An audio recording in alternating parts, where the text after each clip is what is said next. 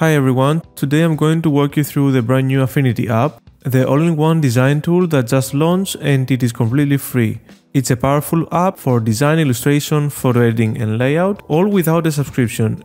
Previously, Affinity was developed by Serif Europe, which made three separate apps Affinity Photo, Affinity Designer, and Affinity Publisher. These were the main competitors of Photoshop Illustrator InDesign by Adobe. In 2024, the design platform Canva acquired Serif, and now, as of October 30, 2025, they have launched this new unified Affinity app, merging photo, editing, vector graphics, and layout into one single tool. It's available now for Windows and macOS, with an iPad version coming soon.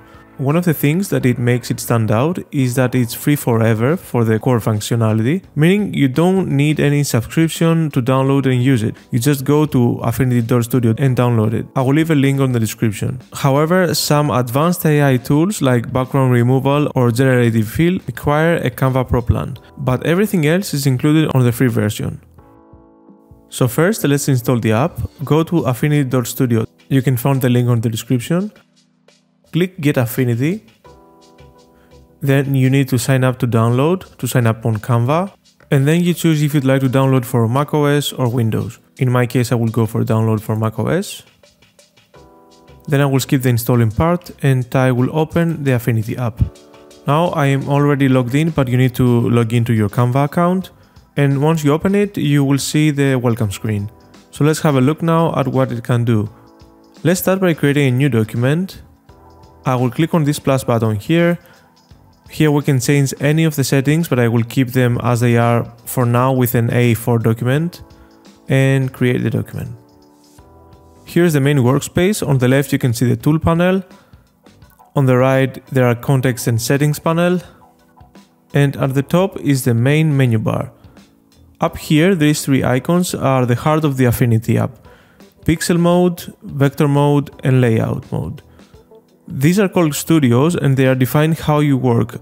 If I click the three dots, you will see even more studios available, but these three are the main ones.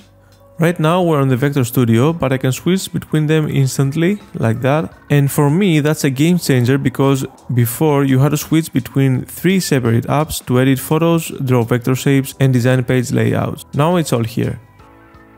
So now that we are on Vector Studio, this studio is perfect for clean, scalable graphics like icons, logos, or typography. So I can take the pen tool and create a simple shape. Then I can simply adjust the fill and the stroke color. So I will add a red for the fill, close. It already has a stroke color, but I can change it to something like blue. I can increase the stroke like this. You can create any shapes. You have here a lot of them ready. I can take a star and create a star. If I hold the shift, it will be perfect. I can also add gradients from here.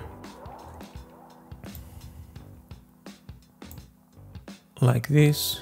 I can edit it from up there can double click and change the color maybe to green like that. We have the layers panel we have styles and effects. I'm not going to go through them all now because i will make a new video going through them one by one. But something you can notice is that on the vector studio no matter how far we zoom in the shapes stay perfectly sharp like that. We can change this view by going to these icons here. So now we are on vector view, but we can go on pixel view and now you can see the pixels. This is perfect to see the designs in actual size and if you're going for example to print something, you will be able to see it how it will be in actual size. Let's go back to vector.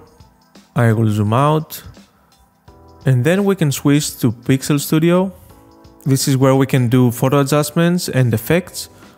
I will place a photo by going to File and then Place.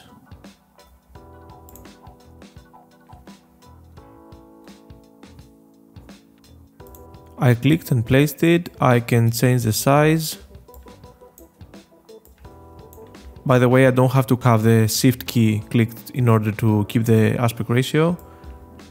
If I click it, then it says the aspect ratio, but I will keep it with the correct one. Let's delete that shape and the one on the back.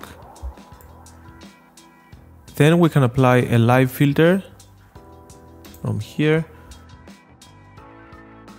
We can try the glitch. There are many options here. I will go with a with a shred. This is live. The software doesn't delay at all, so you can do this very easy. And don't wait for the computer to process the action. I can adjust the brightness and contrast. So I will go to adjustments and go to brightness and contrast.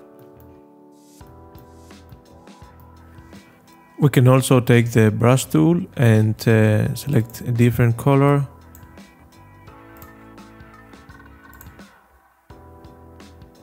And then with the photo layer selected, we can paint on that.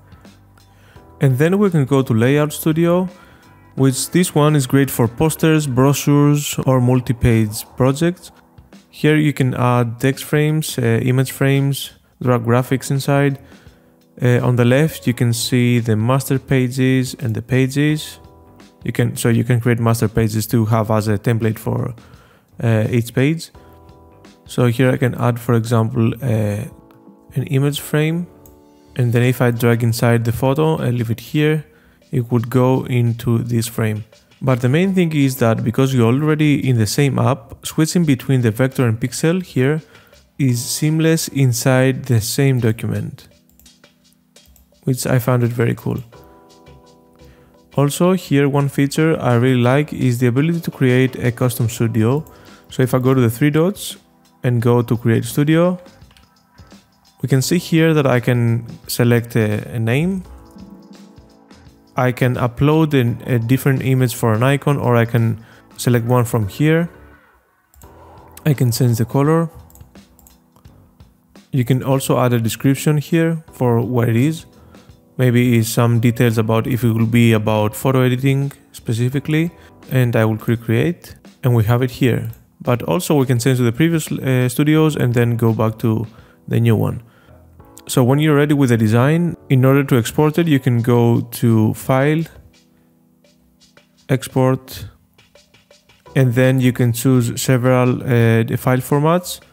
You can go with PNG or JPEG. You can choose the quality. You can even go for PDF or print. You can choose that, that one here. Or if it will be digital, so you can have uh, interactive links. You can also export it in uh, the Affinity NAVD format, which is AF, or even as PSD file, in order to be compatible with the other software. And then click export and select the location. So some other things to keep in mind is that there are some advanced AI tools, but you need a Canva Pro subscription in order to use them. However, the main app is fully free. Also, according to Canva and Affinity, your work won't be used to train AI models, because there was a big discussion around this issue the last years in design software. And also, if you already use the all separate Affinity apps, Photo Designer and Publisher, and have purchased the licenses, you can still use them, but the new unified version is where future development is going.